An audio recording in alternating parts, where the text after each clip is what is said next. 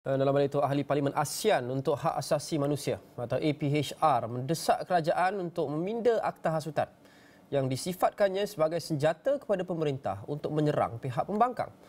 APHR berkata klauza-klauza yang disebut di dalam akta berkenaan tidak jelas dan membawa maksud yang terlalu luas. Merujuk kepada kes Datuk Seri Sanusi Mat Noor, APHR memberitahu walaupun sesuatu pandangan itu dianggap kasar bagi sesetengah pihak, Namun sekiranya ia disuarakan dalam suasana aman, ia tidak seharusnya dijadikan alasan untuk didakwa di bawah akta berkenaan. Dalam satu kenyataan, APHR menambah, kerajaan seharusnya mengimbas kembali bagaimana akta tersebut digunakan ke atas mereka sewaktu berada di blok pembangkang untuk menunjukkan komitmen kerajaan terhadap hak asasi dan kebebasan bersuara. APHR pada masa yang sama turut menzahirkan keprihatinan atas penahanan uh, Datuk Seri Sanusi.